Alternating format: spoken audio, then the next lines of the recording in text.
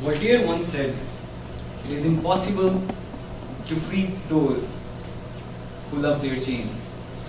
I would dream that the people of my country would realize that even in, that even uh, that in spite of the fact that they have been free for 68 years, they've never been free.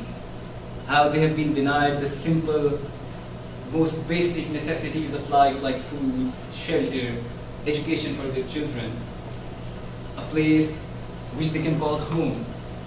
I would dream that they will wake up from the slumber that they have been living in and realize how democracy in their country has been converted into an oligarchy.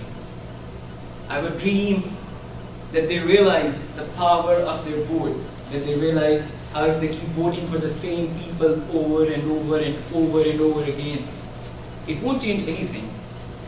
I would dream that millions and millions of people, millions and millions of children born in slave labor would, would be liberated and would be sent to schools and where they can live, where they can live the, the life that they have been long denied.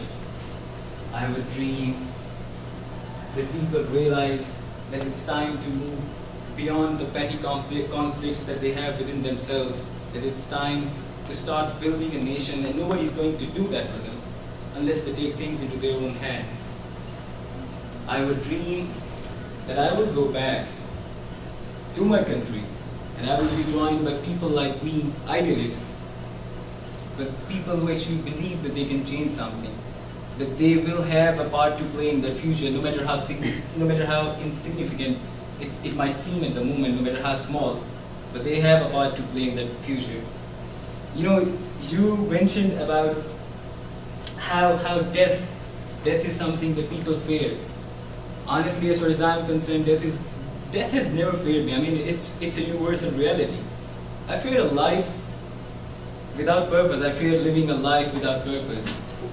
As Ellen Johnson, Ellen Johnson Sirleaf, the president of Liberia, once said, if your dreams aren't big enough, oh, sorry, if your dreams don't scare you, then they are not big enough. So it's okay to be scared, but I have a dream, and I believe that we will ultimately build a country that we have been long denied. Thank you very much.